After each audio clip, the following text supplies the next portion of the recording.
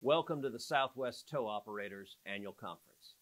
I'm sorry I can't be with y'all in person today, but I want to extend my sincere gratitude to everyone involved in the towing and recovery industry for all that you do to keep our roads clear and safe all across the Lone Star State. If it wasn't for your dedication to the safety of Texas's transportation infrastructure, our state would fail to meet the needs of law enforcement officers, firefighters, EMS responders, and the traveling public. As your senator, I'm committed to pushing back against acts of excessive government overreach that attempt to strip away state authority over this industry. I understand the potential harm you put yourselves in each and every day to keep our communities safe, and I'm committed to being your voice in Congress to ensure that you have the support you need.